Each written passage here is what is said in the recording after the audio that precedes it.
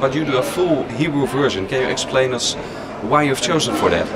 Uh, because I think uh, we have a very unique language and we should be proud of our language and of our country.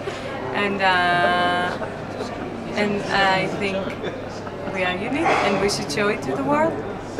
And Israel uh, does that yeah, almost every year, so, so it's important to your uh, country to, to show that culture of yours? Uh, it's important to me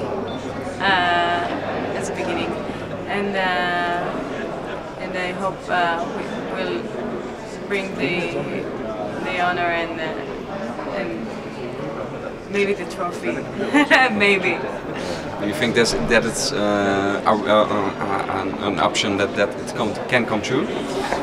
You know, it always can be an option. Uh, the rule, the rule in the Eurovision is that there are no rules, so uh, it can always be an option.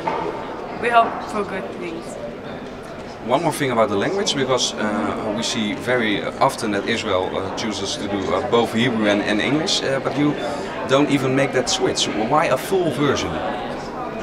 Um, a full version in English? No, you in. He- no, uh, you do it fully in, in Hebrew. In Hebrew. When we mostly see Israel Did do, you do uh, a switch to English. Did you consider that even? Yes, I considered that, but um, we tried to translate the song, uh, even a half of it to English, and we we are afraid to ruin the song. And it's a very beautiful song, so keep it in Hebrew. It's beautiful. Finally, can you uh, look into the camera and uh, say greetings to the ESC Daily watchers? Uh, hello to all the watchers from uh, ESC Daily. Here's uh, Moran Mazor from Israel. I, uh, I really hope you vote for me and make my dream come true. Uh, it's very important to me. Sending you kisses from Israel.